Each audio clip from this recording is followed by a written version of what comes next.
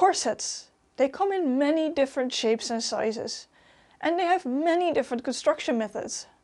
But there is at least one thing nearly all of them have in common. They all have some sort of support. Whether it is fake whalebone, cording, or even cable ties, they all give some sort of support to a corset. But seeing as there are so many of them, when do you use which? Well, that's what I'll be discussing today. So without further ado, let's head right in. I used flat steel boning in my modern fashion corset. On the back, next to the eyelets, I have sewn in a channel in which we have inserted the flat steel boning. This is because we want to keep the row of eyelets as straight as possible. But when you look at it from the side, you can see that it does curve slightly. That's what flat steel is good at. It keeps things straight, but it can curve slightly. This is however quite sturdy, so you can use it to force a certain shape. In this case, keeping the back straight. So that's where you will see flat steel used most often, next to openings. For example, the busk in this is basically flat steel with hooks and eyes.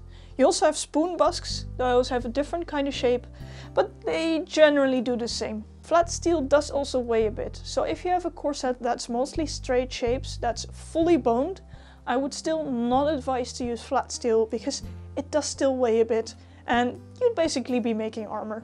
I mean, unless that's what you're going for. But that's not the only support that we have in this corset. Under each of these brown strips we have a piece of spiral steel boning. Spiral steel boning is slightly more flexible than flat steel. It can also move not in one, but in two directions. So as you can see, each of the channels that has some curve or multiple curves to it has a piece of spiral steel boning. This is also slightly lighter than flat steel, so it's more comfortable to wear in terms of weight. So that's what you can basically see here on this corset. Each panel has a piece of spiral steel boning on it that curves nicely with the body. It does shape a bit, but it doesn't force anything. Most people that think about corsets will first of all think about baleen or whalebone as a way of support. Nowadays, of course, we don't want to use real baleen anymore, so there are companies that have made synthetic baleen. This is a kind of plastic, and the nice thing about this is that it kinda behaves like actual baleen. Basically, it is flexible, as you can see. The nice thing about this is that with the heat of the body, it can actually shape. So if you make a corset fully with synthetic whalebone, it will, after a while, form to your body and become more comfortable. For example, you can also see that my piece is relatively curvy. This is not practical when I want to use it, so I can actually put an iron on it and with a very light heat make it slightly more flat. Next up is not a corset but a pair of stays. This is a Laughing Moon Regency pair of short stays and it's interesting support wise because it has four types of support. We have two that we talked about earlier which is the spiral steel boning in the sides. As you can see, again, this is a curved seam, so that's what spiral boning is good at. Then again, on the back, next to the eyelets, we have flat steel to keep the back straight. But you might have noticed all these little channels crisscrossing across the front. And these are corded. Yes, cording is a valid form of supporting corsets and stays. It's actually a form that has been used quite a lot in history. Cording makes fabric sturdier than just having two pieces of fabric together. The nice thing about cording, because well, it's just cord, it keeps it very flexible. Which means that even though it gives support, because it is still rigid, it will sit nicely still on many different shapes and sizes. Another nice thing about cording is, it's cheap. Another type of support on this pair of stays is the busk, which is wood. As you can see, in my case, it's just a paint stirring stick. Because this is short stays, I only needed a short piece of wood and this is nice and cheap. And also I can sand the edges nicely so it isn't as rough and won't damage the fabric. Wood was used historically quite a lot, mostly in the same places as you can find flat steel because again, it's flat and it keeps things straight. But that means that it doesn't really bend, so you do not want to use wood on bendy places. Something that I find to be a bit of a fun fact is that wood was sometimes highly decorated in busks. I mean, no one ever got to see them, but still they were highly decorated. I mean, if you want to do it, go ahead. Next up, we're starting to get into the slightly more unconventional materials because Yes, you can use tie wraps as corset boning.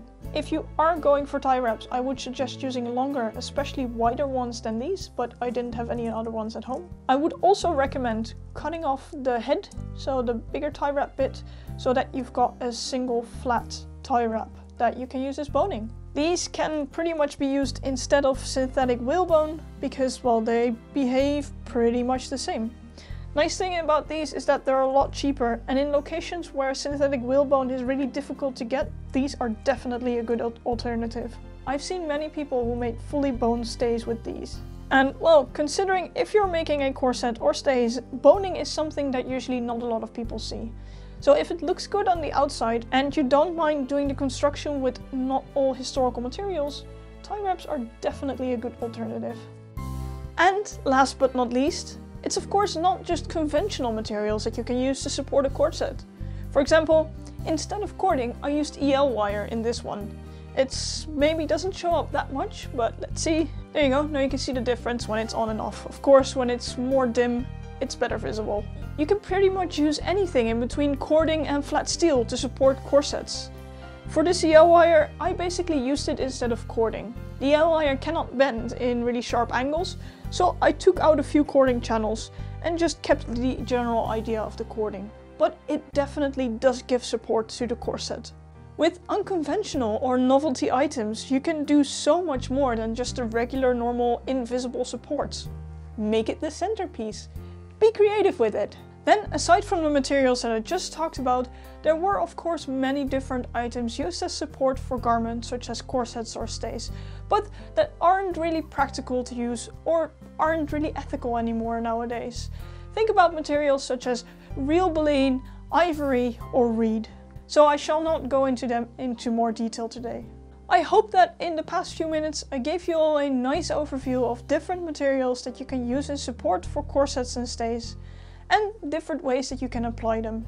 If you enjoyed this video, you might want to check out the construction of this pair of stays, because there I go into detail in how I actually applied all of these types of support.